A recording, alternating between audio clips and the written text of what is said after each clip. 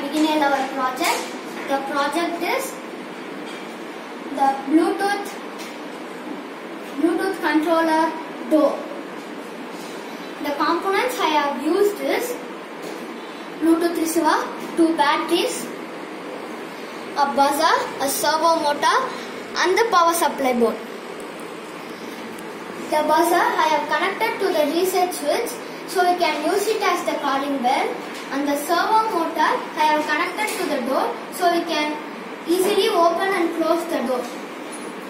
Let's see how it works. When someone press the calling bell, see we can operate the door with the Bluetooth controller. See how when the person enters, again we can close it. I will show you again internally.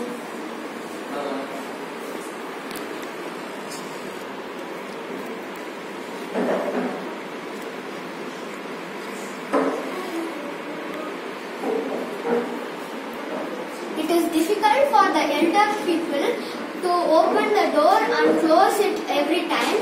So we can so we can use the uh, door to control it very easy. It is difficult for the elder people to come and open the door every time. By this project, the elder people can easily control the door through their mobile phones from where they are. Thanks for watching this video. Thank you.